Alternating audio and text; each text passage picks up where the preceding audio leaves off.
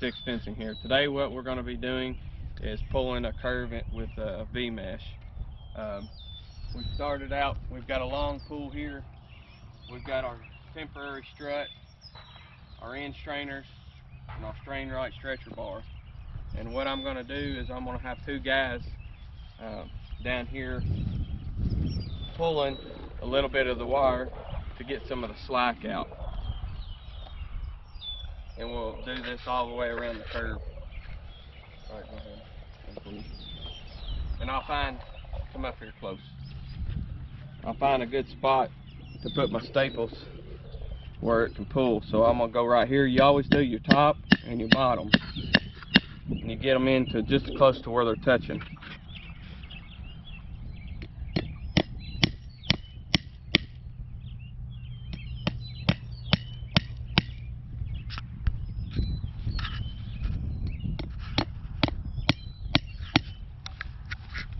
Now what our next step is, is we're gonna skip a post. It's gonna leave a gap probably two feet off that next post.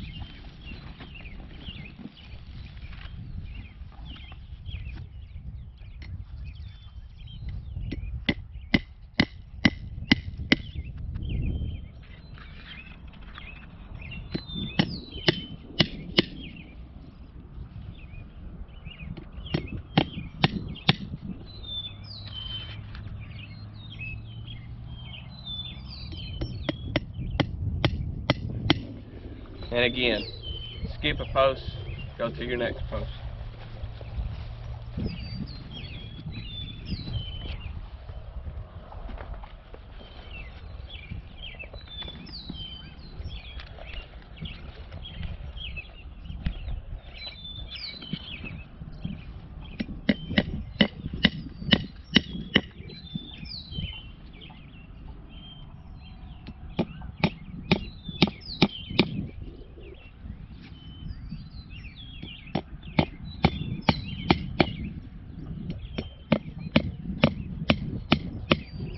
We'll continue the same thing until we get to a straight stretch on our curve, after our curve.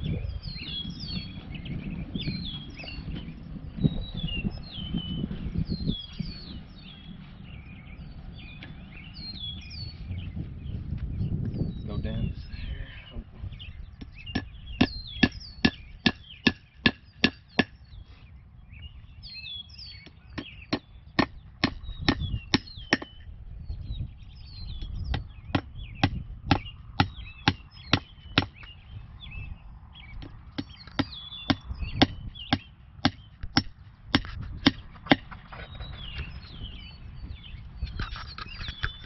So what we've got is we've got our curve pulled, hand tight, and we're leaving these out. That way when we go to do our next pull, which is on a straight stretch, it's gonna pull, this staple is going, usually gonna end up around this area. And it doesn't take much to get this stuff tight we're gonna go down here to the next strut which is down at the far end and prepare to pull this straight line which will pull our curve out. What chicken's doing is putting our uh, Strainrite stretcher bar together. That way we can make our our pull leading up to our curve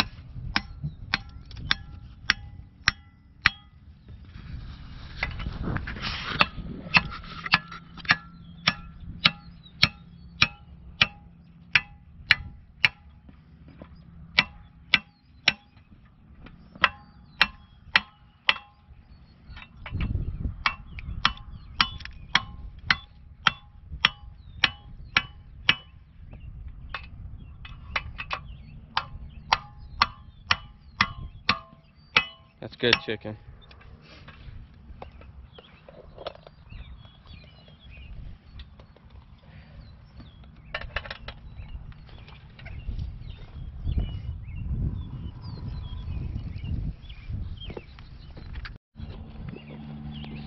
So we've got just a little bit of tension on our fence. It ain't very much. we're to walk back up here to the curve and we're going to communicate back to the guy on the stretcher board to pull until our staples or till we feel like our fence is tight enough around our curve. And then what we'll do is come back up to the curve and push in to the post that are not stapled. All right, chicken, go ahead and tell him what he needs to do. On the it. Do your top first. Yeah.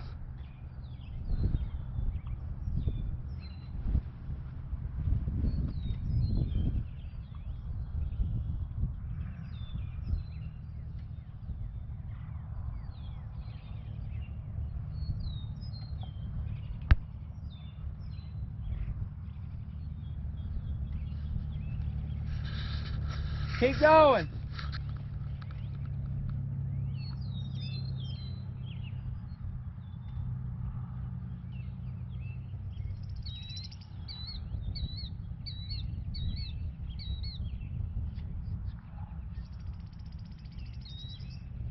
Help him out, Turk.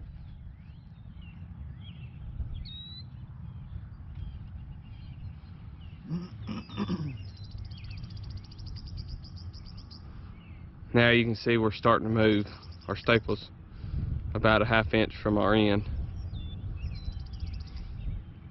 All right. Turk, do your bottom. Do your bottom.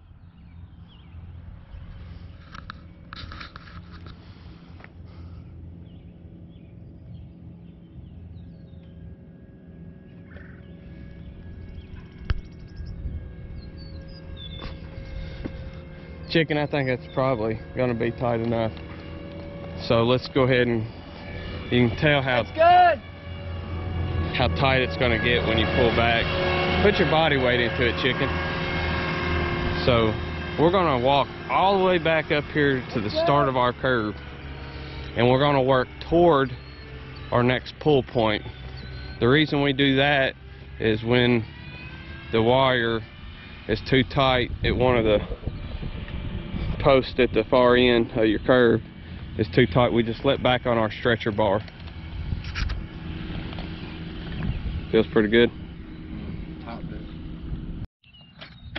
So now we're at a post that we left out from stapling and they're just going to push it in and staple it and what he'll do is double staple the first few up at the top just for extra protection. This one was a post that already had staples in it so it's already there. So each time that you push in the fence is going to get tighter.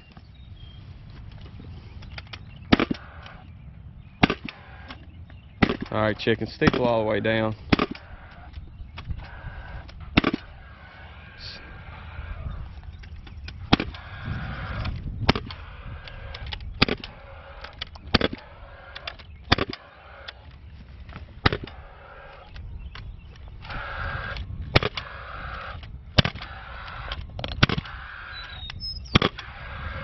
And again, I've only got four staples in here. He's going to come and staple that up.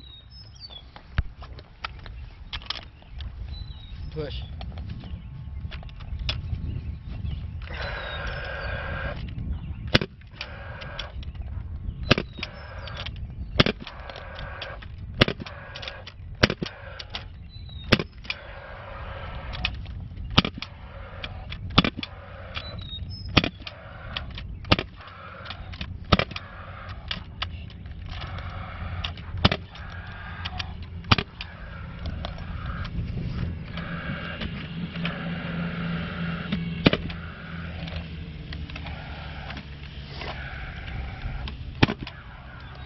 And as you can tell, this fence is extremely tight. So what we want to do is we're going to go back down to the end and we're going to let loose of the top.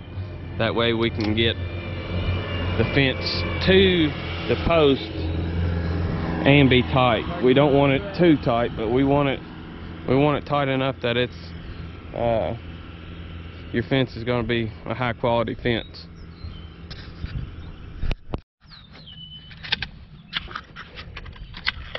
So what I've done here is the bottom was a little bit loose and um, we went on ahead and, and done the top. The top is, is tight. Then we went back down, loosened the top because it was extremely tight at the at the bottom of our uh, curve, and uh, the bottom was just a little bit loose. So we just took our stretcher board and, and tightened it at the bottom one time, and what it's created is a nice tight fence at the curb.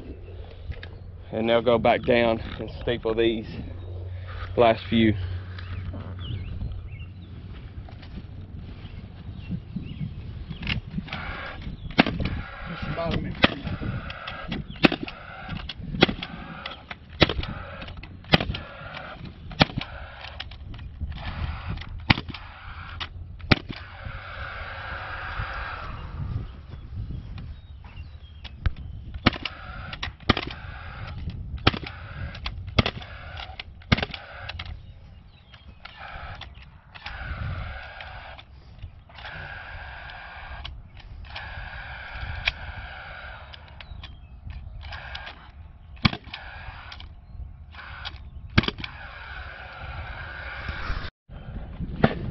So as you can tell, we've got a really nice tight curve.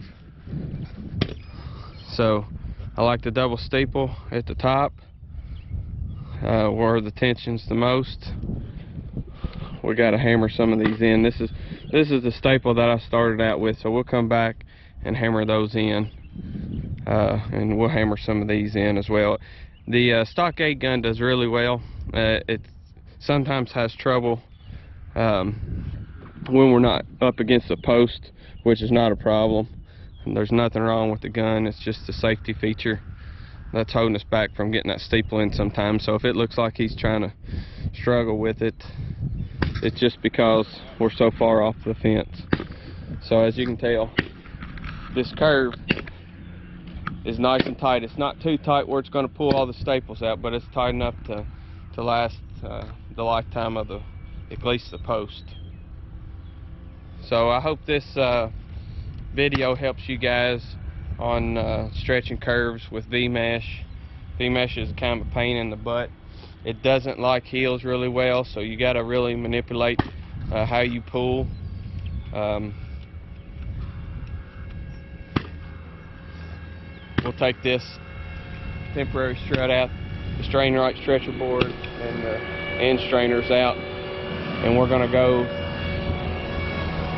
this big curve down here that goes around a gully. We're going to go on the other side of it, and we're going to pull that whole curve right there on the outside, which the outside curves are very simple to pull. It's just uh, make sure that your fence is at the right height when you start to pull and put the proper tension on that you need for your fence, staple it up, and you're ready to go. So we're to go down here and we're to pull more on the straight stretch. You have a lot more tension on the curve than you do your straight stretch right now just due to the fact that we stayed off those posts and pushed back onto them and stapled them up which brought brought them at the proper tension that we need.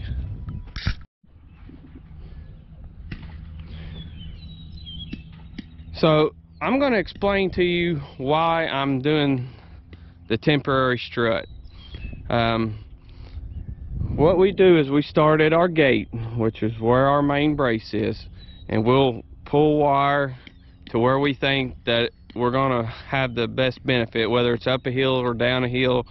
Uh, even tension is what we want with this V-mesh. It's extremely difficult to deal with, so uh, we're doing a leapfrog method. We pulled our curve, well we started at our gate and then we pulled uh, to our curve and we've got one uh, temporary strut and one Strainrite and two chain uh, end strainers up there. And that holds the tension from uh, that temporary strut to the main brace and then we come around the curve to our second pull and I've got extreme tension under my fence right now.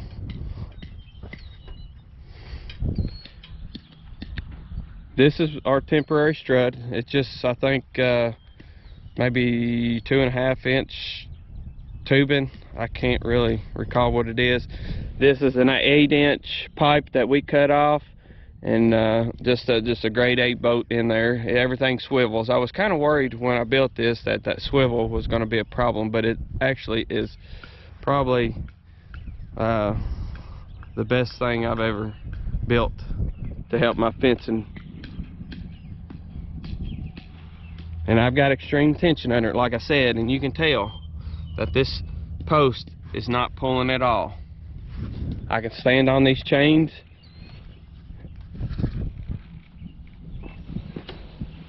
and it, nothing is moving. Since I've got tension under this, I'm going to go back up here and we're to put one staple at the very top. I'm going to uh, have my fence row with the land and then we'll go back with the stockade staple gun and staple up.